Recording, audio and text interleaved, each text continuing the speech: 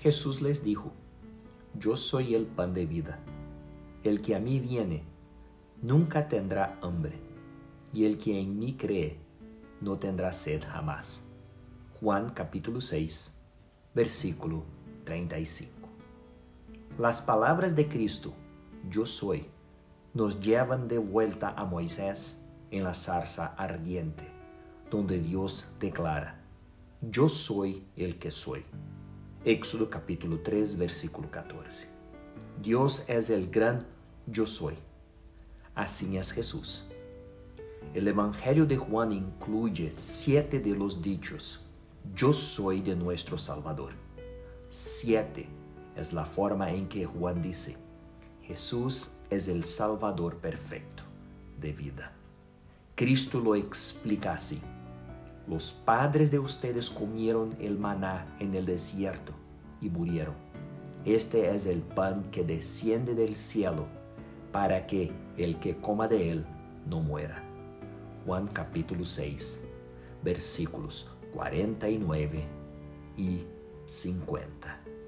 Comer el pan de Cristo, confiar en Él para el perdón, significa que nunca moriremos Jesús no está hablando de la muerte física, está hablando de la muerte espiritual.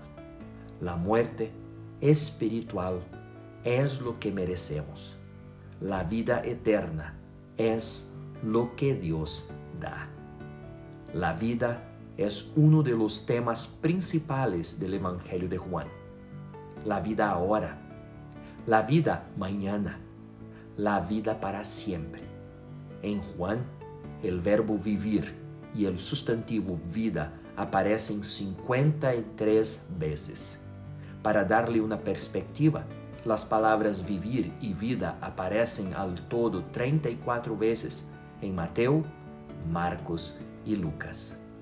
La vida es la razón por la cual Juan escribió su evangelio, pero estas se han escrito para que ustedes crean que Jesús es el Cristo el Hijo de Dios, y para que al creer tengan vida en su nombre.